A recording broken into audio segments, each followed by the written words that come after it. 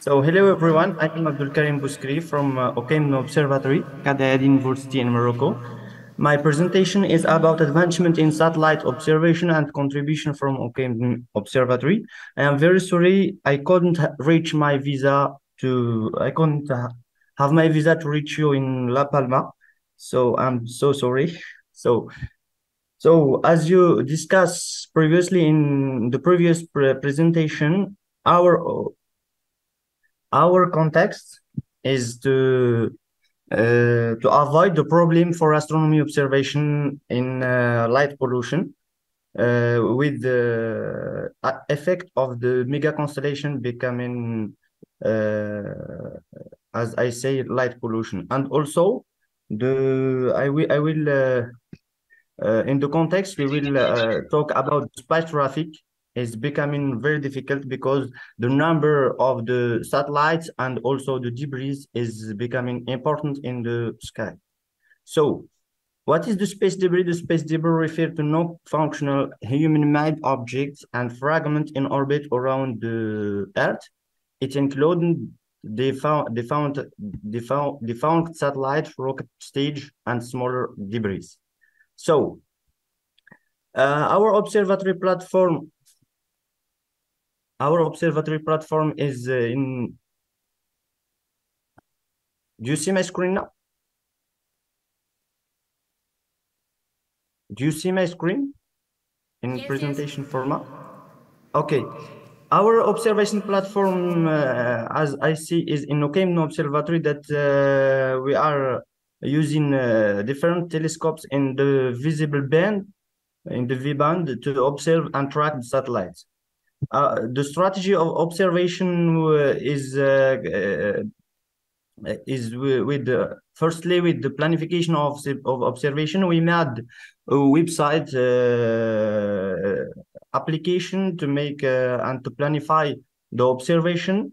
As you see in the form in the blue side we can put all the information about the ge geographical position of the observatory site and also the latitude of sun to, uh, at the time of the to launch the observation and also the acceptable uh, latitude of satellites. In the orange side, we have the, the category of the Starlink uh, of the satellite sorry and you can find different category and also the observability the observability if the we put visible that means we have all the data all the information about satellites, and we can directly know if it's visible uh, or not.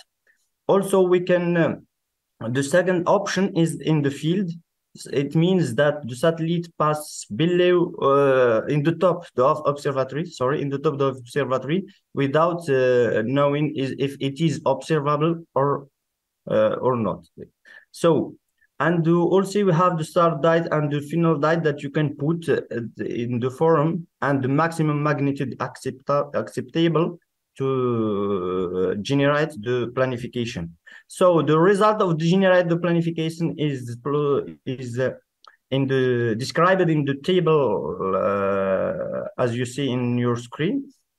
So we have a different color for each color. We have, for example, one satellite and we have uh, the uh, magneted and uh, the distance magnetic and per air mass, the phases, right, right ascension, declination, and time of observation and latitude. So we can exploit this uh, this planification to show uh, for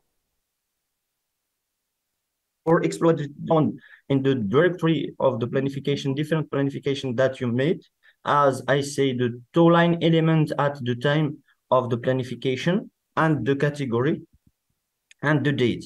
Also, we can find the, the folder uh, that contain all the uh, CSV of the planification table and also the information about the magnitude maximal accepted that you put in the uh, configuration of the planification.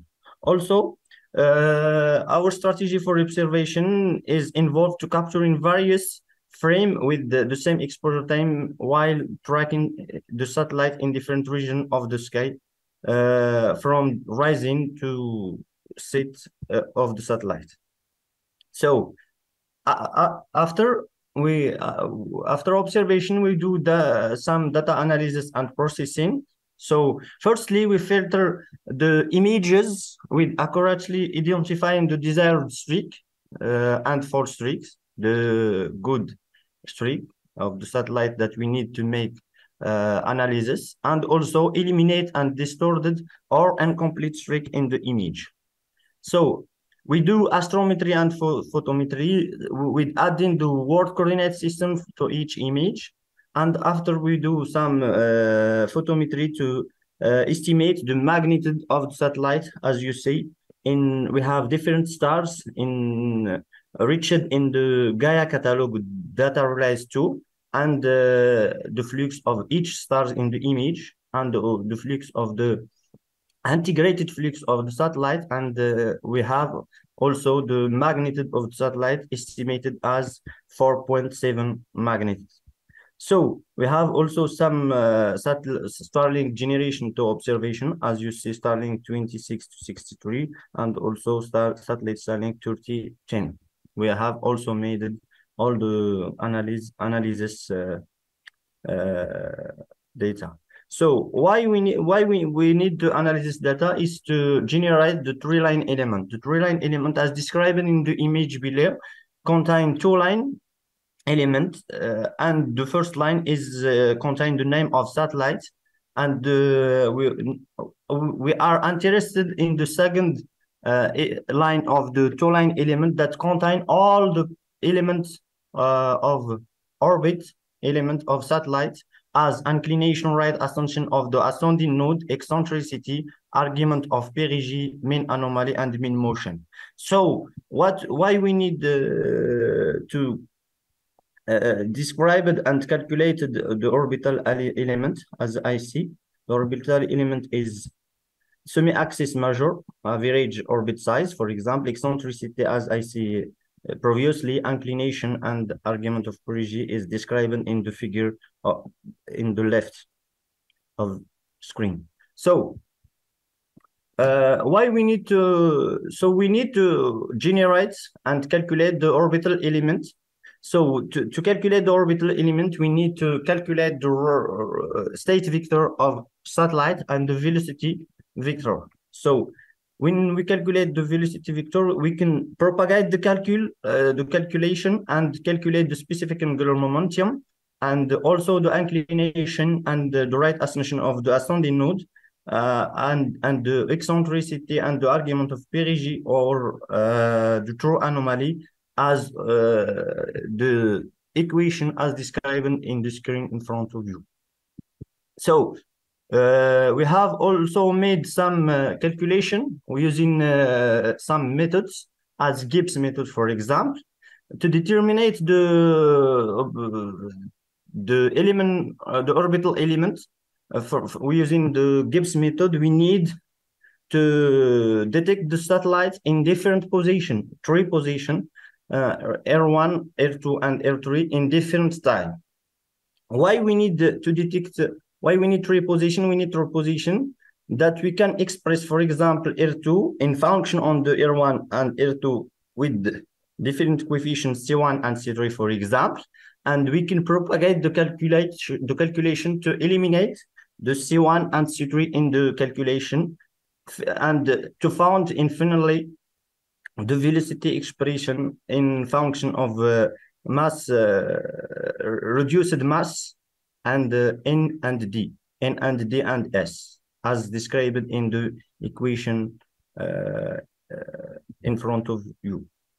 So we have the example of two-line element uh, generating with the other two-line elements. We, we have to, we are in the phase of the test of our uh, script. So uh, we have using the two-line elements, all and another two-line element to generate a new line element. So we in uh, for Atlas Centauri, for example, as you see, we have uh, generated the the orbital element with some variation and some difference between uh, the first uh, two line elements. So in conclusion and outlook, we have professionally conducted satellite observation and mastered image processing and um, pre-processing.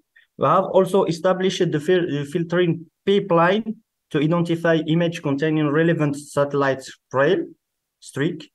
Our efforts have commenced in generation orbital parameter for the observed satellites. However, achieving higher precision remain a, priori a priority of this stage.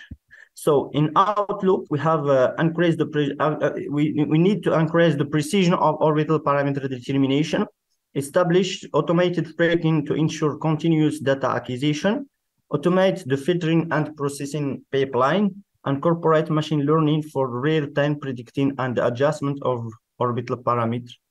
And thank you very much.